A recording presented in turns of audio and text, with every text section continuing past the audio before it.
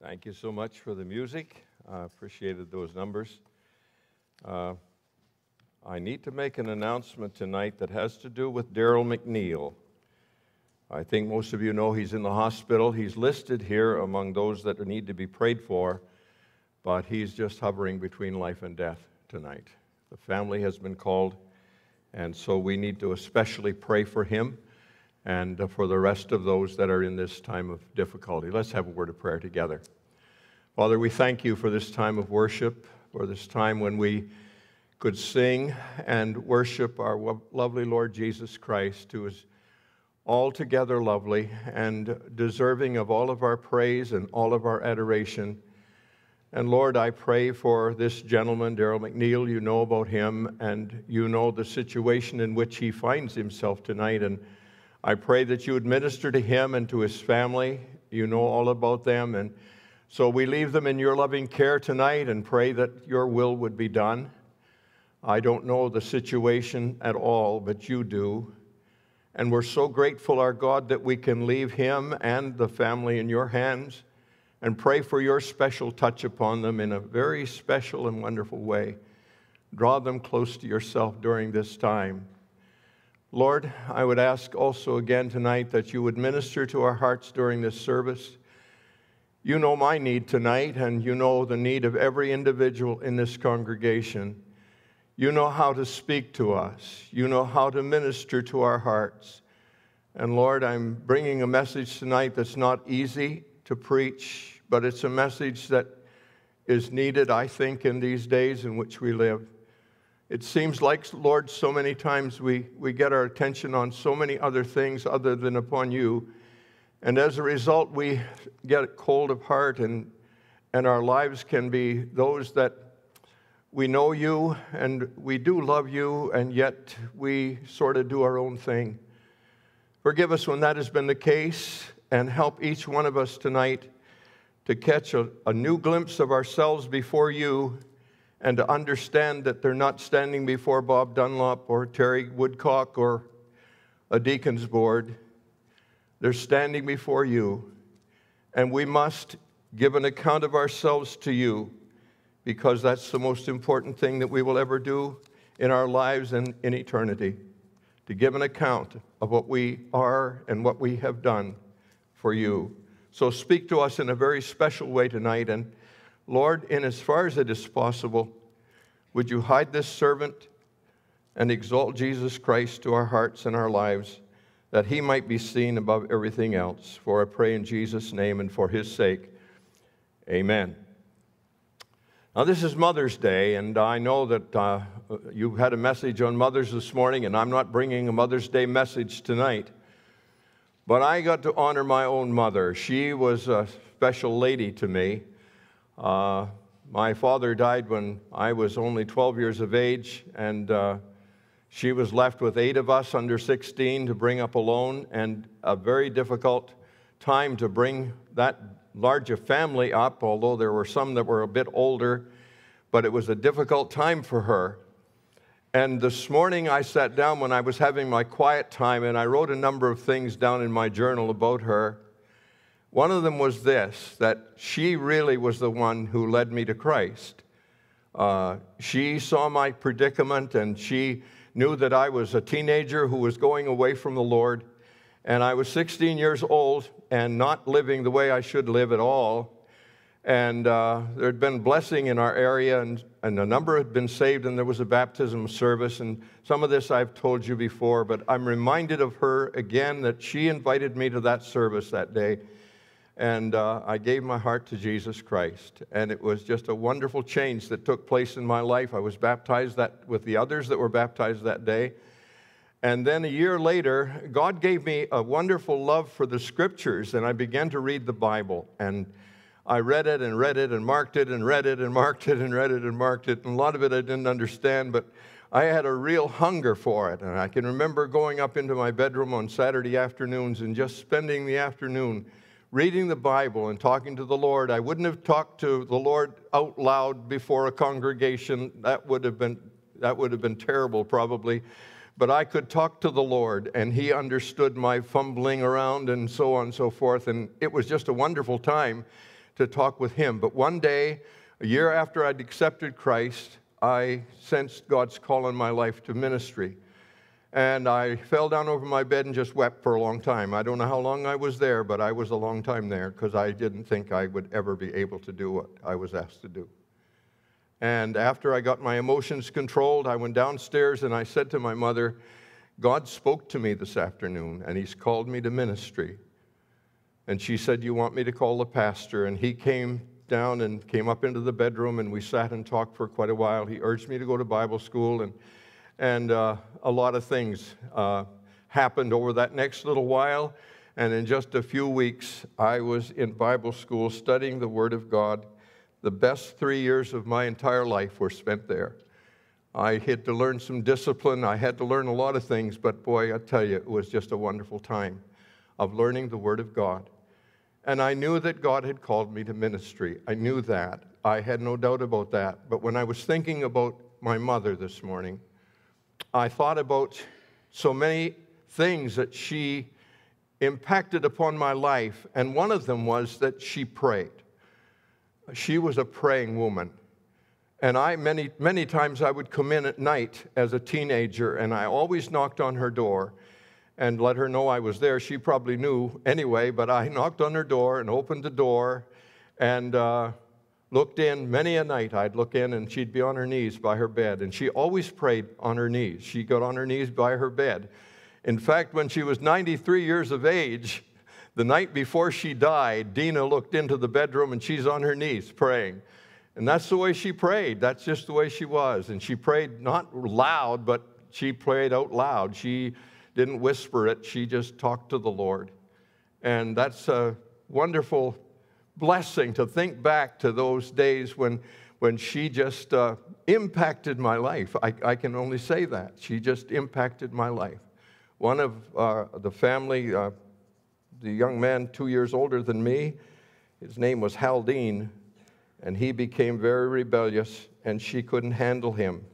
She had a hard time with him. Uh, he became later on an alcoholic, and uh, but later on came to Christ under our under my ministry, by the way, led him to Christ, and but he got saved, and that's that's a wonderful thing. But she had a she had a hard time with him. He uh, he got very rebellious. She couldn't handle him at all.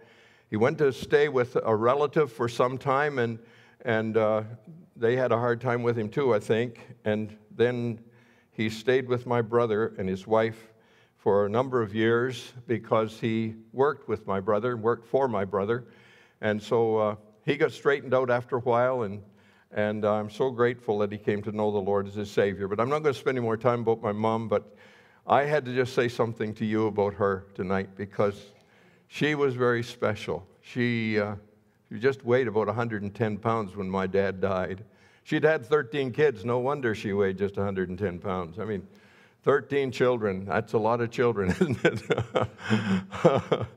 and I'm in the middle of all of that. And uh, anyway, thank the Lord for my mom. Turn your Bibles tonight to Revelation chapter 2. Revelation chapter 2. And uh, I want to begin to read at verse 1 and read through the end of verse 7. And then I'm going to sort of stray from that a little bit. I'll come back to it, okay, uh, in the latter part of my message. But Ephesians chapter 2, what a tremendous passage of scripture it is. It's about the Ephesian church. To the angel of the church of Ephesus, write, These things says he who holds the seven stars in his right hand, who walks in the midst of the seven golden lampstands.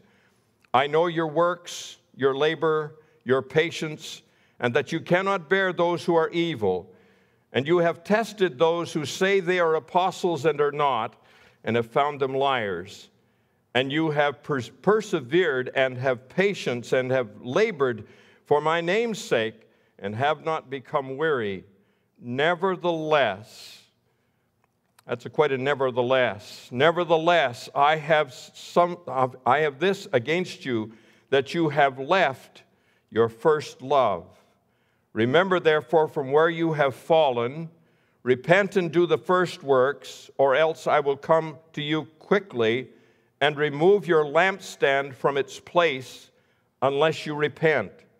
But this you have that you hate the deeds of the Nicolaitans, which I also hate. He who has an ear, let him hear what the Spirit says to the churches. To him who overcomes, I will give to eat from the tree of life, which is in the midst of the paradise of God. When we first come to know Jesus Christ as our own and personal Savior, something wonderful happens in our hearts and we are changed by God's matchless grace. I guess some of the things that happened to us at that particular time is that we want to be in God's house, we want to go to church. We want to be with God's people. We desire to read the Bible, although as young believers we don't understand all about the Bible, but we want to read it. We want to serve anywhere we can serve. We want to be used of God in any way He will use us. We want to see others come to know Jesus Christ as their own and personal Savior. Our hunger and our thirst for people to get saved is uppermost in our lives. There's a burning heart of love for our wonderful Lord Jesus Christ. It's there and it's evident there because we're young Christians. We've come to know Christ, and there's been a thrill about that. It is a blessing to know that we've come to know Him in a personal way. He sought us and found us and brought us to Himself, and our lives have been changed by His grace. But many times something happens, and I don't know why it happens, but it happens to probably all of us at one time or another when we can get cold and careless toward the things of the Lord. I read the story of a man who had been faithful to all the services of the church, but after a while he decided that something happened in the church he didn't like, and so he decided that he would not go anymore. He was very faithful at prayer meeting, and the pastor got very concerned that he was not at the prayer meetings anymore. Pastor didn't know what to do. He was a prominent one in the church. Pastor really didn't know what to do with him, but he loved this man and he didn't want to go and preach at him. So one night after church, after prayer meeting, he decided he'd stop in to see him. So he stopped in, and man was sitting in his living room, had a fire going in the fireplace. They sat and talked for a little while. And the pastor decided he would do something that he had never done before, but he decided he'd try this anyway. And he went up and took the t- tongs and he took a coal from the burning fire and just laid it out on the edge of the fireplace and went and sat down. And they sat there for a little bit, and that smoldering thing that was ablaze when he took it out of the fire began to cool down, and after a while it just turned black. And the man sat there beside the pastor and he said, Pastor, you don't have to say anything.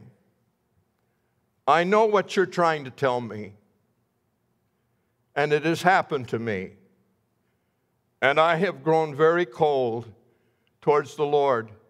I hope you will forgive me, and God will forgive me. I will be back to church. I will be back to prayer meeting. I think the cry of all of our hearts is that we might be right with God.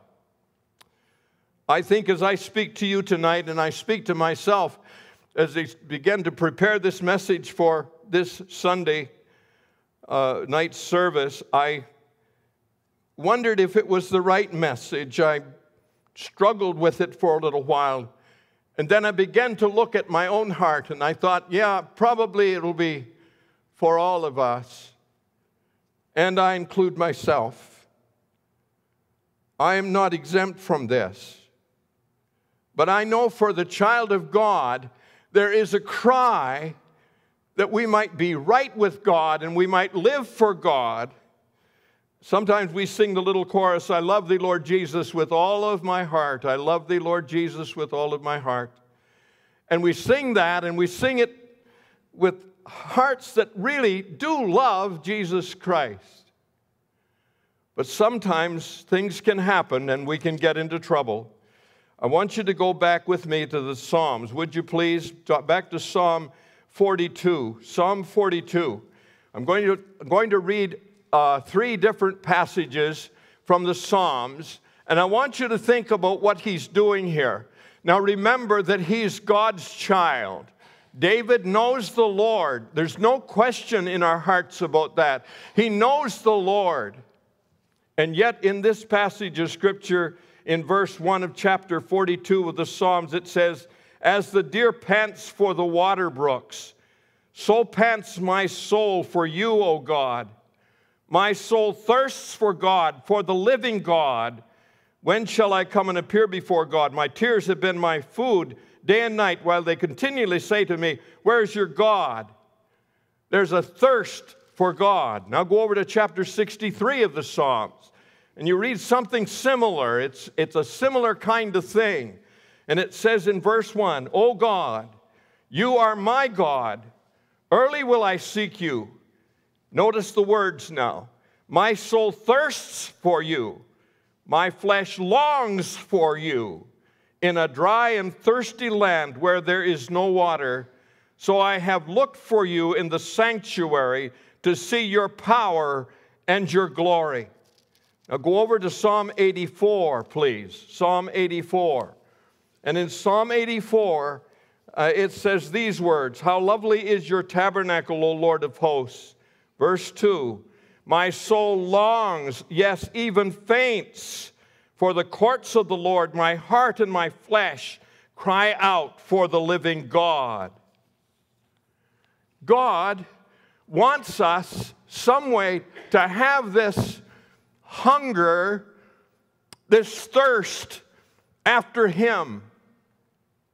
I'm reading a book titled Desiring God by John Piper. And I've, I've been challenged by this book. It's not an easy book to read. I find it sometimes makes me really think when I think about myself and I think about our church and I think about what we desire in our church and in our individual lives, God wants us to thirst not for crowds in the church. He wants us to thirst not for great programs in the church. He wants us to thirst not for better preaching in the church. He wants us to thirst not for better music in the church, but He wants us to thirst for Him. And that's the cry of the believer. I wrote these things down, listen to it. It is the Christian desperate for reality and spiritual things, crying for God's touch. It is the Christian recognizing the dryness that exists in his own soul, crying for refreshment. It is the Christian knowing there is no hope apart from his God, crying for his help. It is the Christian looking and longing for the Lord's moving in his life. It is the Christian thirsting literally thirsting for God. There's a thirst that he has for God and for his touch in the individual's life. Now, I'm speaking for the most part to you who know Christ as your Savior, and I know that. But I know what I'm like, and I think probably we're all quite the same. We can get a little bit careless at times. When we get away from the Lord, generally it starts innocently. Bible's left out of our lives. Prayer is no longer enjoyed. Witnessing is a thing of the past. Church attendance is not a vital and meaningful thing. The spiritual concern we once had for loved ones has faded. Renewal is needed. But it seems we couldn't care less. And that's the way it happens to us. How does that all take place? Backsliding is not a blowout, rather, it's a slow leak. It's not something that happens bang and there. It happens slowly, and in all of our lives, we can get to the place where we do things just because it's the formal thing and the right thing to do. Nothing wrong with what we do. But we do it because it's a have to. It's not a real thing that we do because we want to do it for the glory and praise of God. Turn to the book of Jeremiah for just a moment. Jeremiah chapter 2. Turn to Jeremiah chapter 2.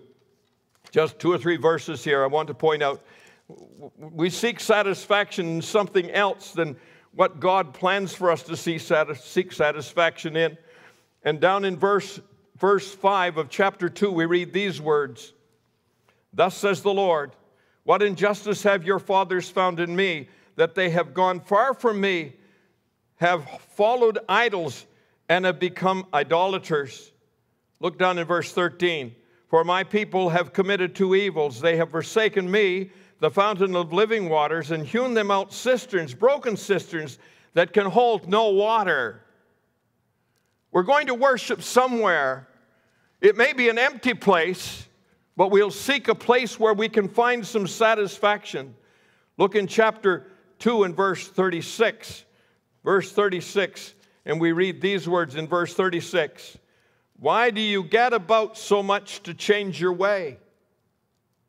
We want to, we want to see something happen, so we, we go from one organization to another, one thrill to another, one church after another, and there doesn't seem to be anything that satisfies us at all.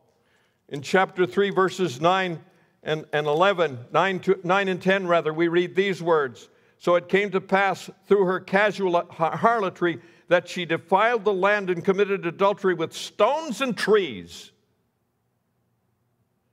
Yet, all, yet for all this, her treacherous sister Judah has not turned to me with her whole heart, but in pretense, says the Lord. In pretense. In pretense. Now, we don't go out and worship an idol. We, we don't do that.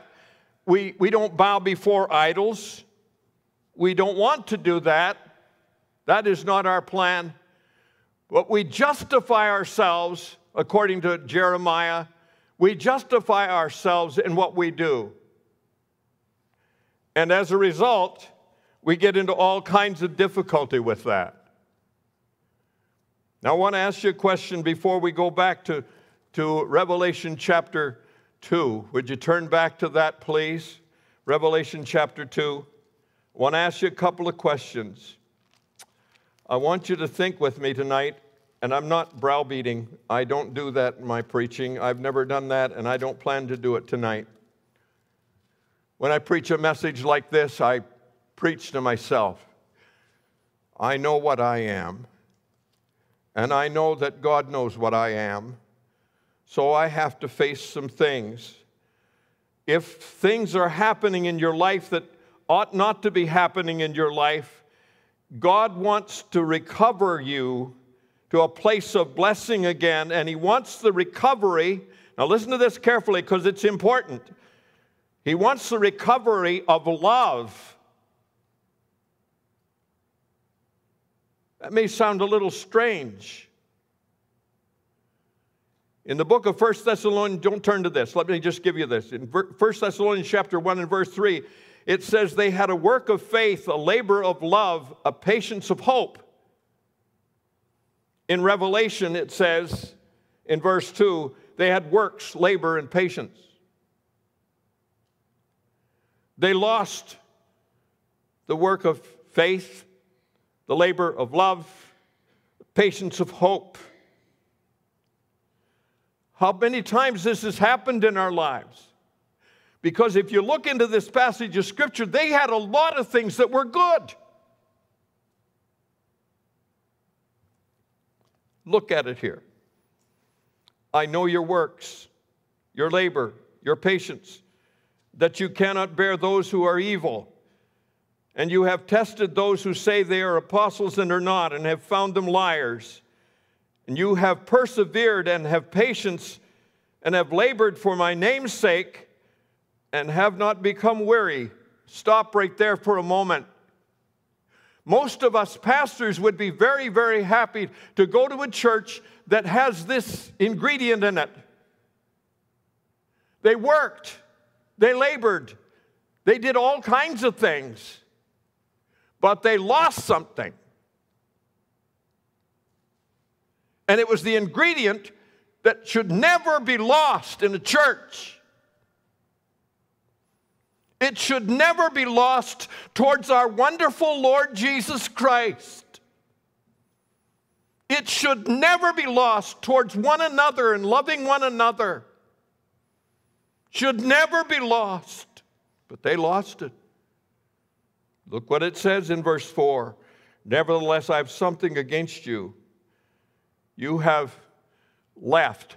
It, that's a deliberate choice. They left their first love, they left it.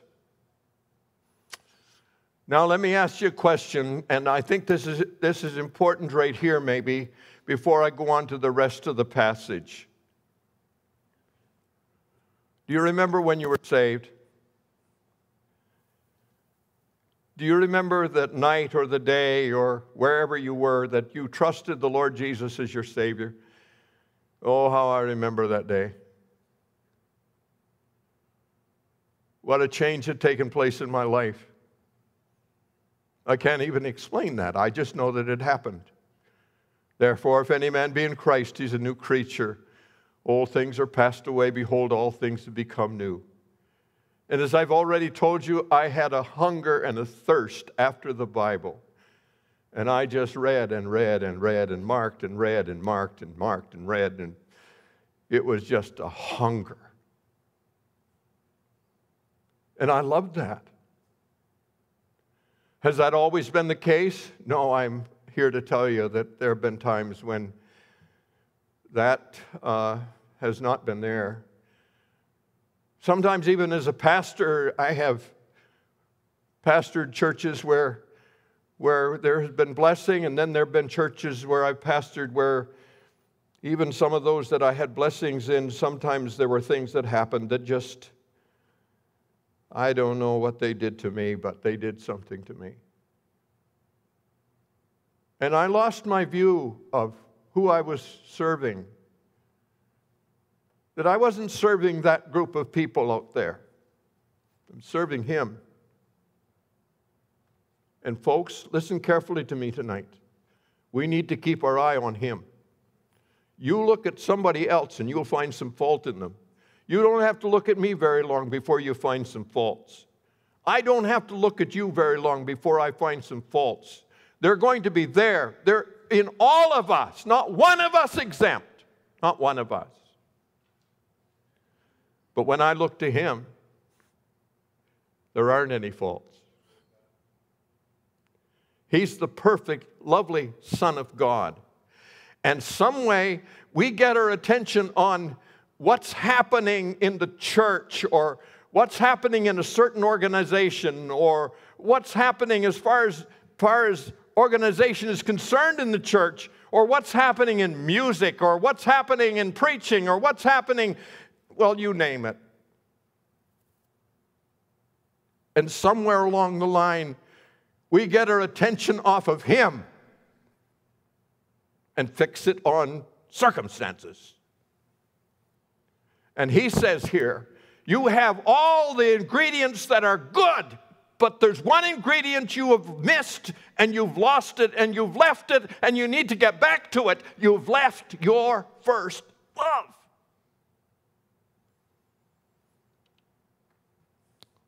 Some people say, well, you know, it shouldn't be you shouldn't be like you were when you first were saved. Well, why not? Isn't it just as thrilling now as it was then? Where have we lost that? I got married one day. I fell in love with that little lady over there. She didn't want me at first. But when she saw what a great guy I was, and I saw her at Bible school, and I, I chased her. I did all kinds of things to get her attention. And after a while, I got her attention, and then she dropped me.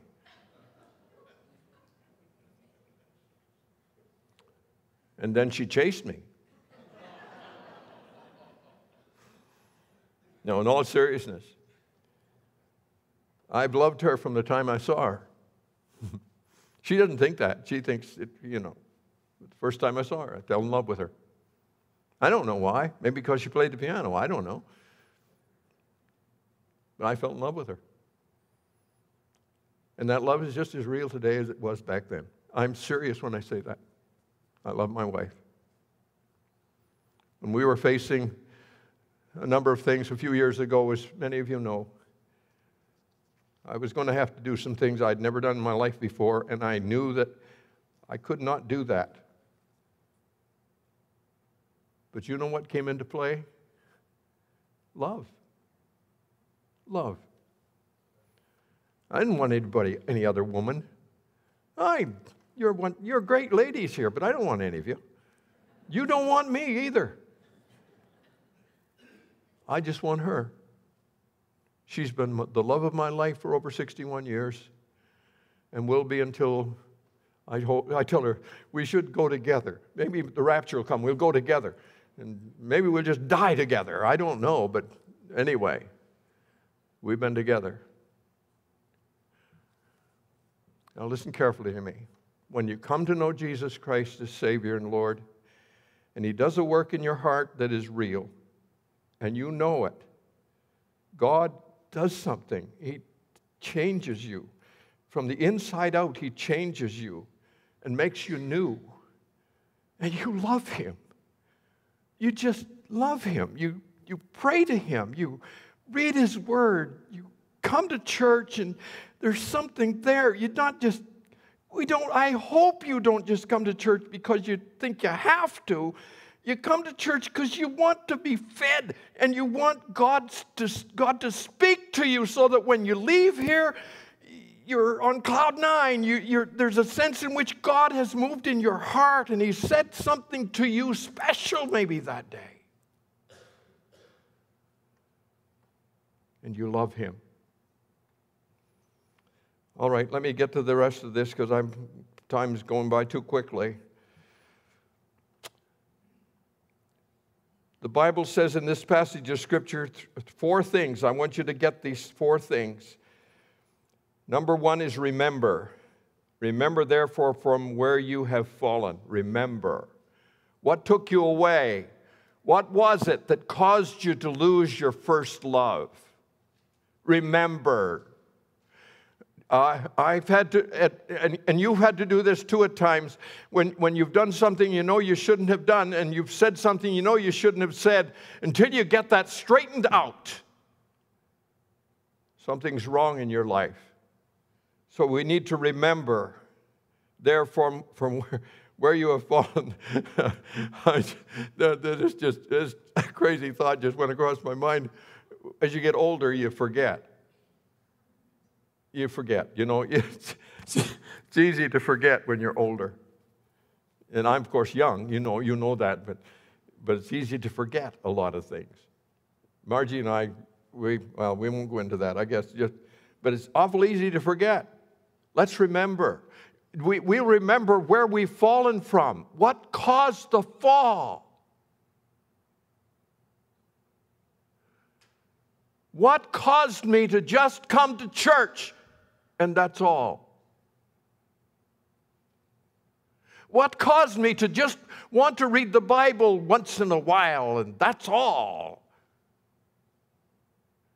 What caused me to get my heart cold towards God. What is it? There's something happened somewhere. I've got to remember it. I've got to remember it. The second word is in, in, in it's another R. It's repent and do the first works. Repent means I turn from whatever that was and I go in the other direction. I repent and that sometimes can be painful too, to repent, to get things right. We were down in New York State having meetings, and God moved in a church that we were in for, for evangelistic services. And the last Sunday night of those meetings, I don't know how many came forward in the morning and in the evening as well. It was just a move from God. And I saw a lady sitting over to my left, and she sat there after the service was dismissed. And I saw her just sort of with her head bowed, and I thought she was crying, but I didn't know. And I went over. She was a young woman, about 35 years of age, I'm guessing, but in that area. And I sat down alongside of her and I said, Can I help you? She said, I don't think anybody can help me. I said, What's the problem?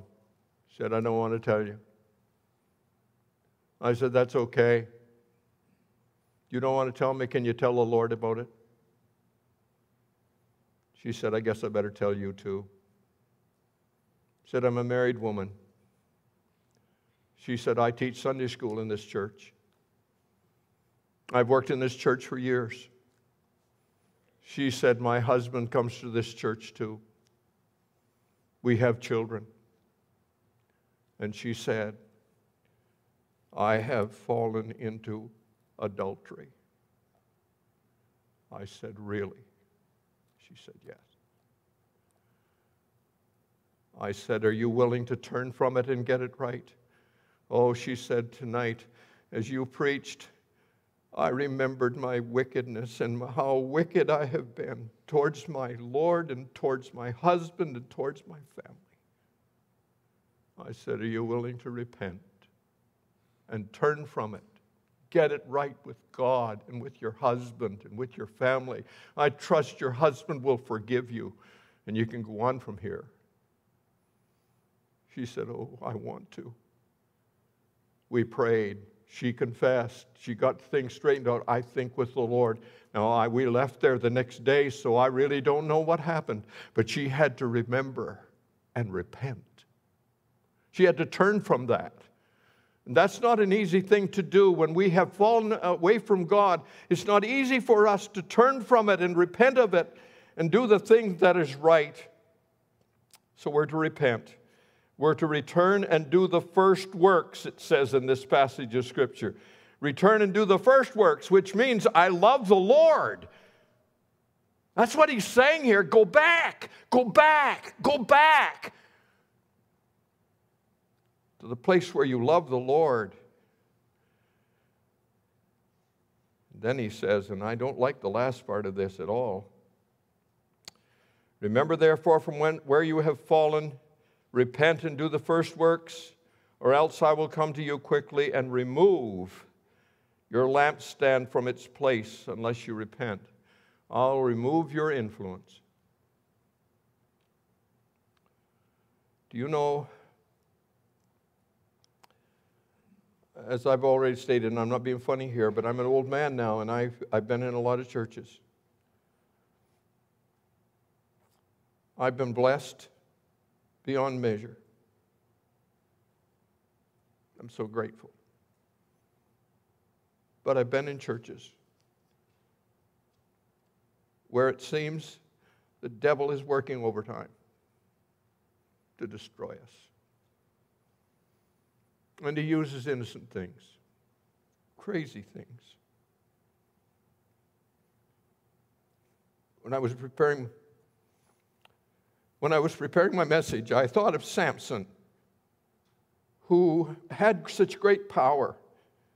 And he fooled around with that power, I know that. But in Judges chapter 16, verse 20, it says that he came out as at other times, and he didn't know that the Spirit had departed from him.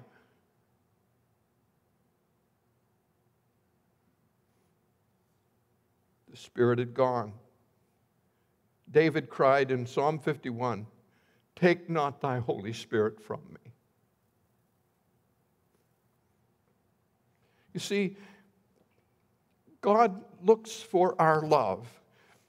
We've talked about some sins, but the sins are, are that they, they are so taken care of if we just we just see Jesus Christ. This afternoon when I came home and I'm a little bit tired and I laid down in a, my recliner and went sound asleep for a little while when I awakened, I began to think about Peter.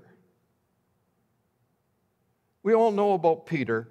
We all know that Peter denied the Lord three times, cursed and swore. Then he went out and wept bitterly. I think he got straightened out there.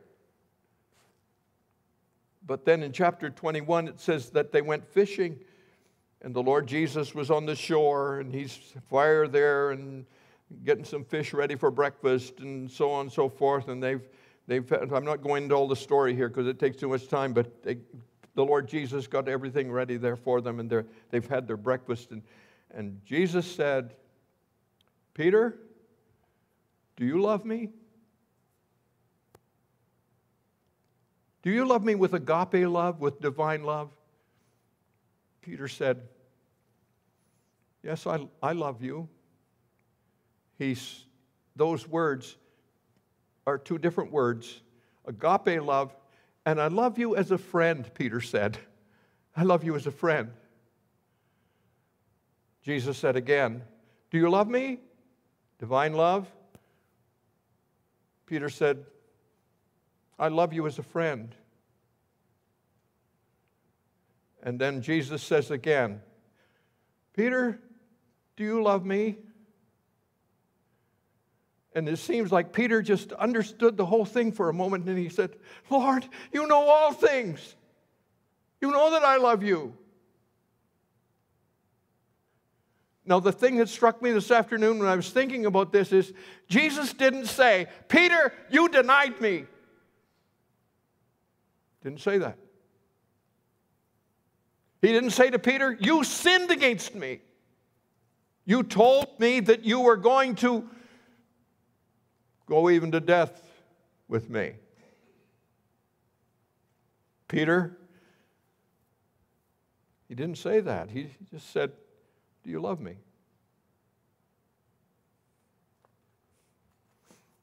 When I began to think about that, love doesn't criticize, love endures, love is kind, love sacrifices, love doesn't brag or boast, Love exalts others. Love doesn't put others down. Love for Christ is manifest to others, and they are not fooled by our silly cover ups. Love doesn't curse with its lips. Where there's love, there's life.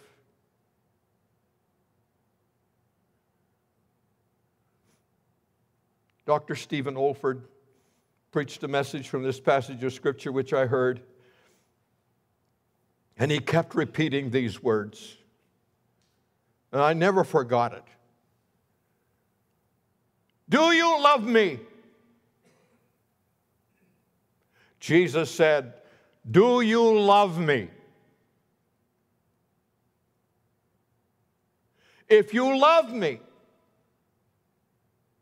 it'll take care of a whole lot of other things. Do you love Jesus? Do I love Jesus? Because it puts us all on the spot. How much do I love him? How much would I how much would I give? How much would I lay down my life? How much would I you know the rest. How much do I love him? He loved me and died for me. desiring God, seeing Him lifts the load that nothing else can lift. Seeing Him in the church takes away criticism and heartache and heartbreak if we see Him but we need to see him. You may be here tonight. You say things are okay with me, and I'm glad if you can say that. Praise the Lord. I'm, I'm, I'm not browbeating. I said that in the beginning, and I mean it. I'm not browbeating you. I've been browbeating myself all week because I looked into my own heart. And friends, I know what I am. And I know what He is. And I know He's the loveliest. He's the loveliest in my life. He's the perfect one in my life. He's the exalted one in my life. I want it to be that way. And I think you do too. May we surrender ourselves to Him so that He can just manifest Himself to us in a special, special way. Let's bow together for prayer.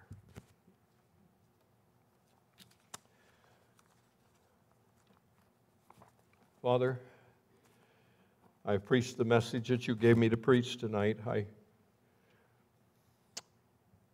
struggled some, but it's your word. And because it's your word, you're able to speak to us, and you have spoken to me even as I've preached. And I'm so grateful for that. I pray for this congregation.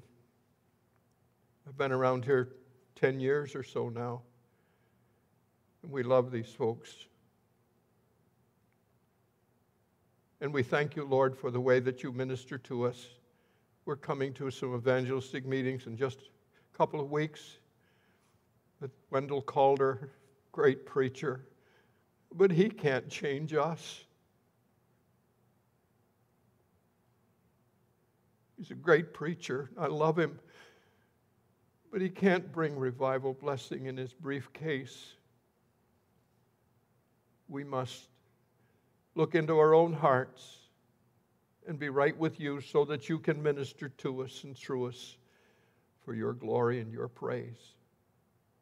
And Lord, as we close our service tonight, as the worship team comes to sing a number, I pray you'd speak to our hearts.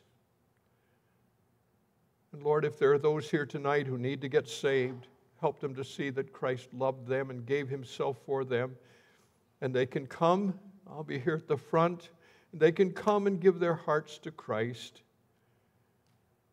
It may be that some Christians need to come and just kneel here at the altar and get things right in their lives. That may be so too. But whatever you do in our hearts is all right. I'm not looking for great demonstration. I'm looking for us to love you and to serve you and to be all that you want us to be. Help us tonight, we pray. For Jesus' sake, amen.